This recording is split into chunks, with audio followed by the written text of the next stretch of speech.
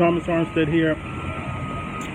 Um, second part of what I disagree with with Gary Vee, and like I said, I think he's open-minded enough that I think he would appreciate a slight difference of opinion. Now, I want to make sure everybody understands when part one, when I say he's getting fancy. An example I give is Patrick Bet David who I was watching, I was promoting, I was telling people, oh, check out this guy, Patrick Bet David. And now he has changed his strategy where he wants to be, for lack of a better word, fancy. And look, I'm an existentialist, and I believe that people should be whatever they want to be with no judgment. It's just like now he wants to be more like a journalist, Patrick Bet David, and I'm just not as interested in him, right? So Gary, in terms of being fancy, I'm just talking about like graphics, editing, and all of that. And I just want to do something different. I want to be a guy who's just on the phone, just like you, who's not a millionaire, not a billionaire, but wants to get there, and we share the journey together. Um, the second thing about uh, Gary talks about is respect the room. Now, I do agree with him. If you're on LinkedIn, people are, like he says, are in the business psychology, right? That's their psychology at that point. They're thinking business. And when you're on Facebook, it's like kind of like all of your friends. When you're on Twitter, it's like you're in the stadium and everyone's yelling, and you're the only one that's giving stuff away. I love that. Um, so respect the room. Instagram is very visual. Snapchat is very visual. Um, but as a guy who's trying to say, look, I'm bare bones to the bone, just a guy on a cell phone. The cell phone is inexpensive. Um, there's no editing. There's no. There are no graphics. And I'm going to post this on Facebook.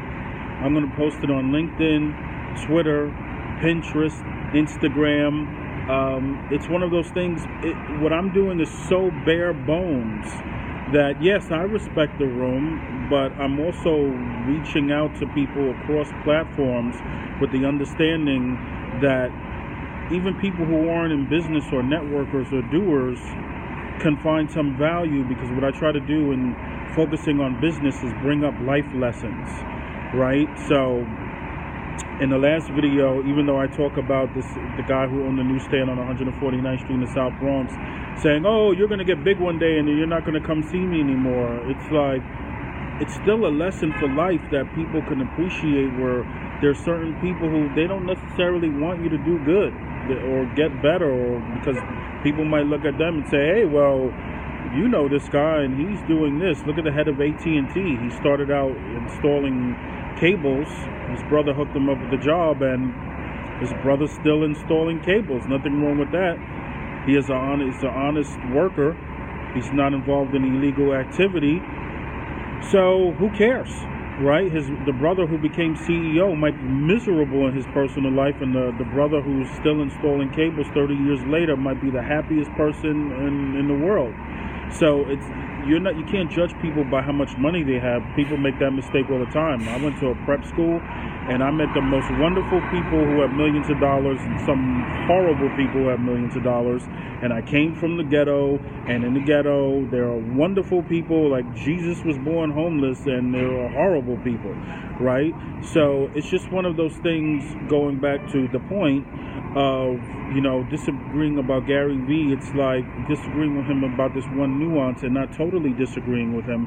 I love that. Respect the room. If you're on Pinterest, that's different from even Instagram, which is similar with the pictures. It's different from LinkedIn. It's different from Facebook. It's different from Twitter. I love that he has recognized that and is putting it out there. But as a guy who's doing something bare bones that can relate to people just on a human level and in terms of business, it, that doesn't work for me. I'm going to give my content across platforms, and I think people will relate to it on a human level and a business level. We'd love to get your thoughts, especially the people out there who are fans of Gary Vee and hopefully fans of mine. Thank you very much. Have a fantastic day. Bye.